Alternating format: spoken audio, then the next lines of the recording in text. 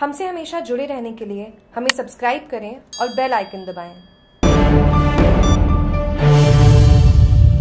कलश यात्रा के साथ दो दिवसीय धार्मिक कार्यक्रम शुरू कस्बे के समीपवर्ती उच्चतम गाँव में चौधरी द्वारा हरिद्वार से लौटने पर दो दिवसीय धार्मिक कार्यक्रम का आयोजन किया गया इसके तहत सोमवार को पहले दिन गाँव में ढोल धमाकों के साथ कलश यात्रा निकाली गई। इस दौरान कार्यक्रम में पहुँचे अतिथियों व संत महात्माओं का समैया कर स्वागत किया गया दोपहर में महाप्रसादी का आयोजन हुआ इस अवसर पर माउंट आबू पांडु गुफा के डायाराम महाराज, रानीवाड़ा पूर्व विधायक व उप मुख्य सचेतक रतन देवासी, चामुंडा माता जी ट्रस्ट अध्यक्ष ईश्वर सिंह देवल, उप प्रधान प्रतिनिधि रान सिंह परमार फूलचंद खंडेलवाल, दिनेश सेन, पुष्कर पुरोहित, इस अवसर पर माउंट आबू पांडु गुफा के डायाराम महाराज, रानीवाड़ा पूर्व विधायक व उप मुख्य सचेतक रतन देवासी, चामुंडा माताजी ट्रस्ट अध्यक्ष ईश्वर सिंह देवल, उप प्रधान प्रतिनिधि राण सिंह परमार, फूलचंद खंडेलवाल, दिनेश सेन, पुष्कर पुरोहित, कपिल अग्रवाल, हरसन देवासी, प्रवीण राव, पार्सन सेन सहित बड़ी संख्या में चौधरी समाज के लोग उपस्थित थे। जागरूक टीवी के लिए जसवंतपुरा से महेंद्र प्रजापत की रिपोर्ट।